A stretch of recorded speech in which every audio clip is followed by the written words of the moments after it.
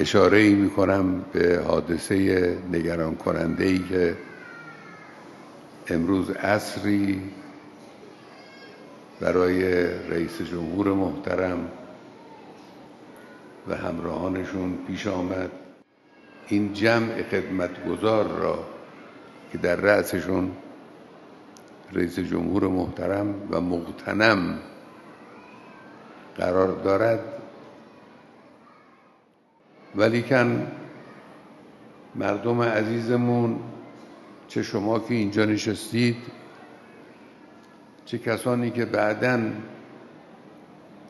عرایز ما رو میشنوند مطمئن باشن که هیچ اختلالی در کار کشور به وجود نمیاد. همه چی انشاءالله مرتب منظم کارهای کشور پیش می رود هم امنیت کشور هم امنیت مرزها